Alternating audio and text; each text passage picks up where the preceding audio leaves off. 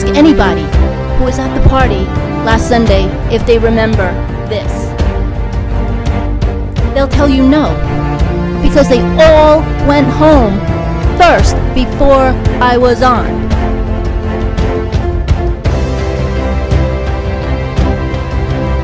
I wasn't expecting to do this video and I wish I didn't have to say what needs to be said. But I need to set the record straight. I have been deceived once again. I have just found out some news about the ahem, the so-called birthday a party I was performing for last Sunday with Bart.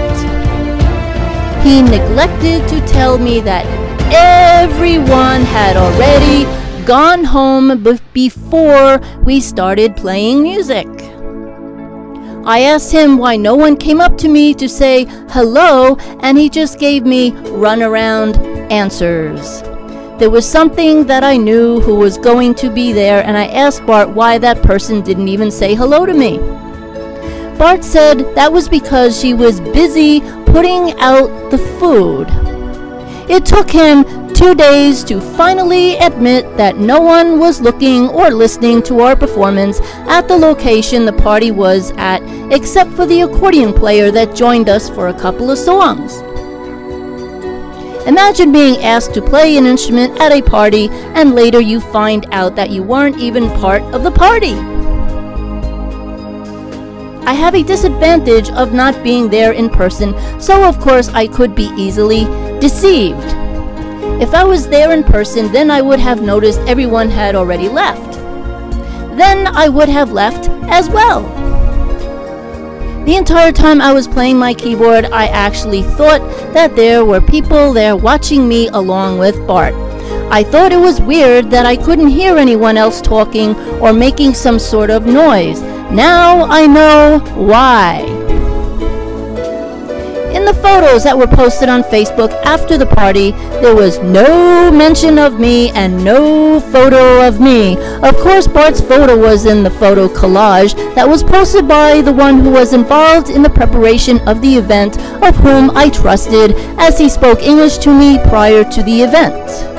I won't mention his name, but I don't trust him anymore either.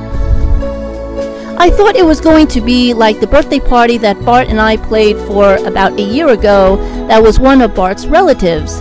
There, people saw us both performing, and some people came to talk to me before they went home.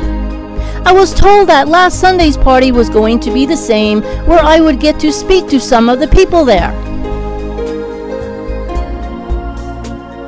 Bart asked me to join him again on Sunday, July 31st. I said no. I hate being deceived, and this wasn't the only time I was thrown under the bus.